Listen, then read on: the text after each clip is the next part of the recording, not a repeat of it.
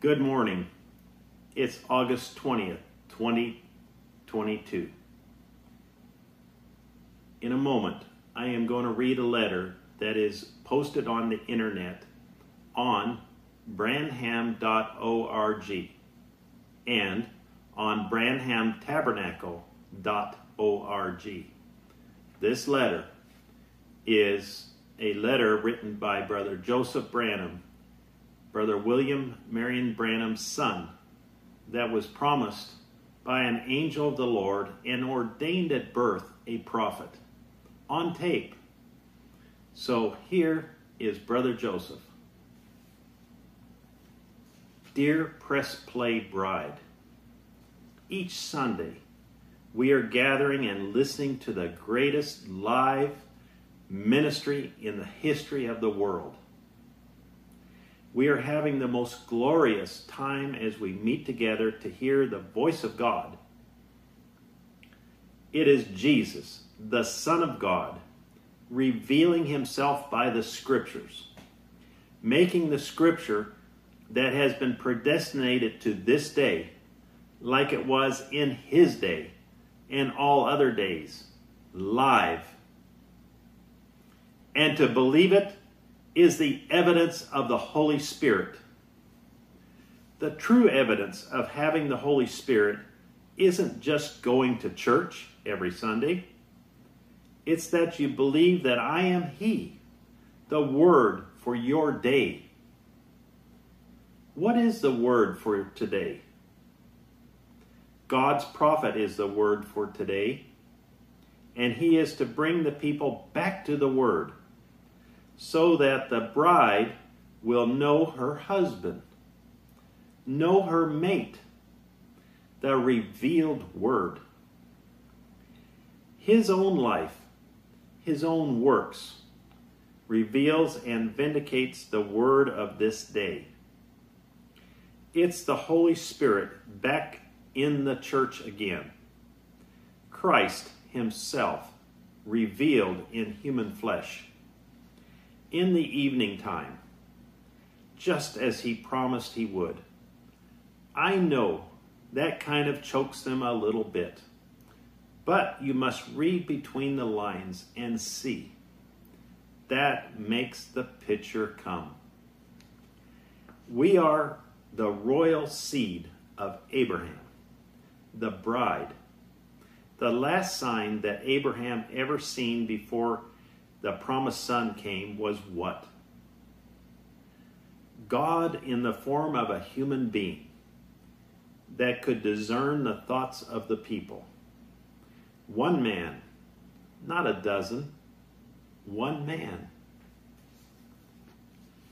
I know many people with that, but I know it's this. I know it. Not because I'm saying you're saying it, because I didn't get it from myself. My, my thought is not my own. Ever what it is that told me, if it's wrong, then it's wrong.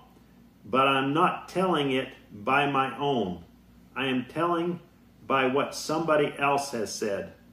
That somebody else is the God that spoke to us and done all these things that he has done and appeared, see? So I know it's right.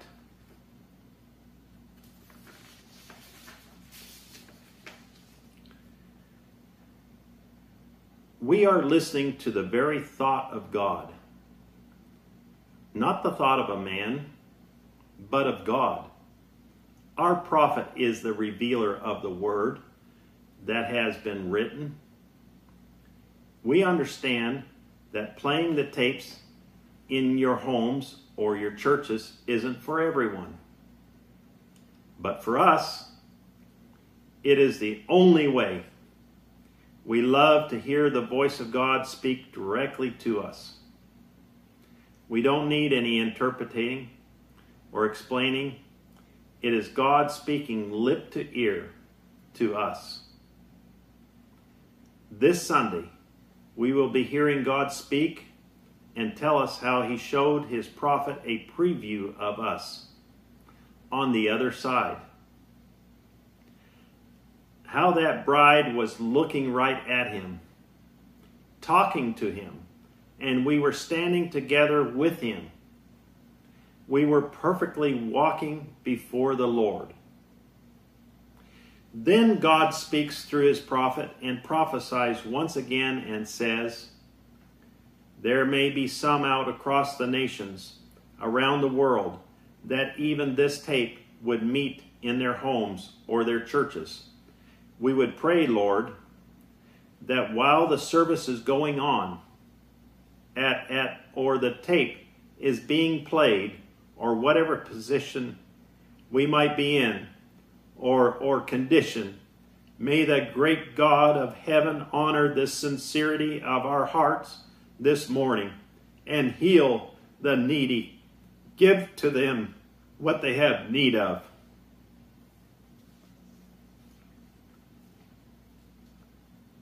If you're listening to the tapes and believe it is the voice of God for our day, then whatever you may have need of, God will be speaking through his messenger and say, Give to them whatever we have need of. That can only happen by pressing play, my friend.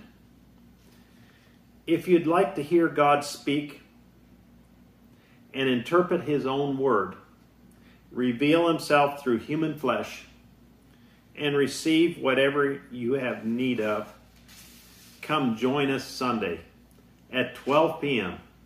Jeffersonville time as we hear God speak to us as we hear the Feast of the Trumpets, 640719M, Brother Joseph Branham.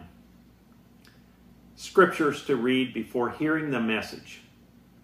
Leviticus chapter 16, Leviticus chapter 23, verses 23 through 27, Isaiah 18